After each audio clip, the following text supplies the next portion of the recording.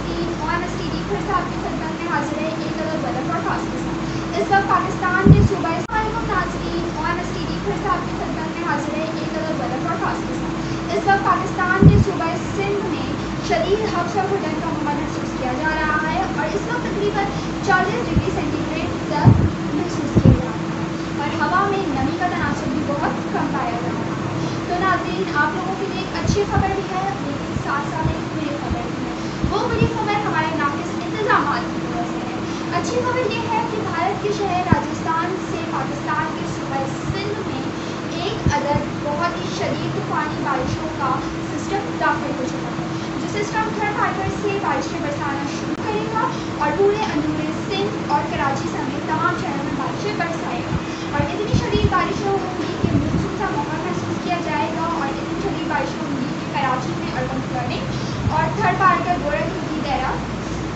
کا خدشہ ہے۔ تو برائے مہربانی کھمبوں تاروں سے دور ہے اور ساتھ ہی ساتھ خوب تیز بجلی گرنے کا بھی امکان ہے۔ تو برائے مہربانی اپنی مدد آپ کے تحت آپ لوگ اپنا بہت خیال رہیے گھروں میں رہیے اور اپنی ضروری اشیاء اپنے گھر میں رکھ لیجیے۔ کیونکہ جس طرح سے حالات بتائے جا رہے ہیں کہ اتنی طوفانی بارشیں ہوں گی تو واقعی